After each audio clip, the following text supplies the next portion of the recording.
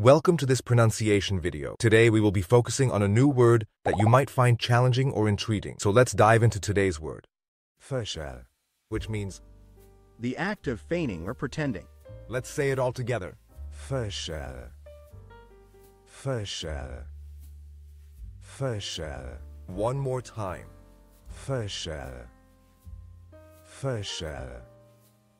Fecha-a.